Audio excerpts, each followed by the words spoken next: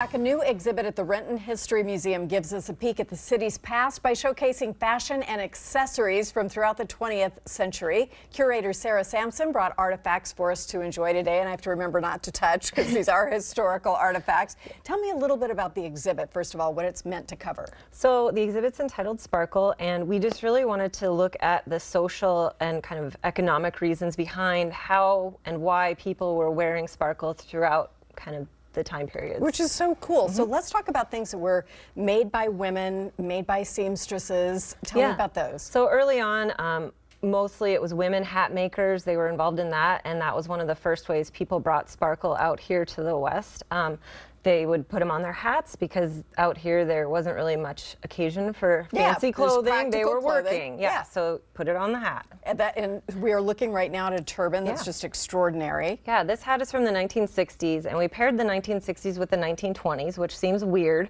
but if you think about it, both of those decades were incredibly um, energetic with the economy. Mm -hmm. Everybody had a lot of extra money to spend, and you definitely can see it in the in artifacts the from that time period. And who doesn't like an evening bag yeah, with beads, right? right? That's pretty incredible. So let's talk also about these these earrings. Yeah, so these come from the 1930s, the Depression, and we paired the 1930s with the 1940s because they were both decades where there was a lot of hardship. Um, there was rationing and there was obviously the depression, so people didn't have a lot of right. money. And so the artifacts in our collection, there are much fewer of them from these time periods and they're much less ornate.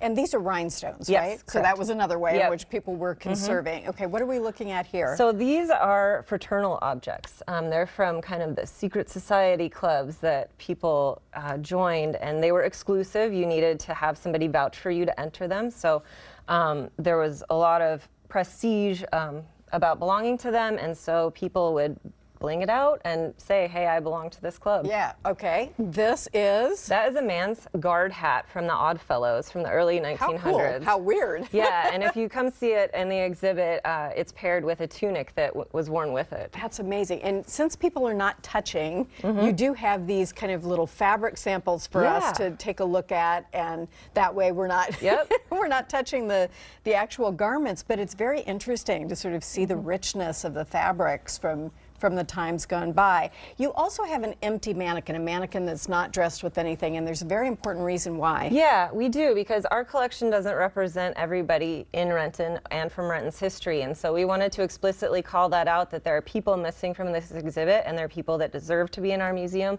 and someday we hope that they trust us enough to give us their objects, right. and that we can tell their stories That there, there are more cultures yep. than are mm -hmm. represented here, and that that's very important. What gave you the idea for this?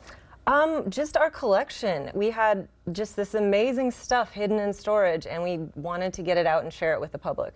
And people might think of fashion as you know one of those things that isn't incredibly important, but mm -hmm. it mm-hmm. really is a cool benchmark, a marker for yeah. the different things that happen in various eras. I like fashion because it's incredibly personal, and when people come in and view fashion exhibits, they really connect because they can see a person wore that. Mm -hmm. And so mm-hmm. it's a much more visceral connection that people have with the past. Such a good point. Thank you so mm -hmm. very much. You can view the Sparkle exhibit Tuesday through Saturday at the Renton History Museum until April 4th.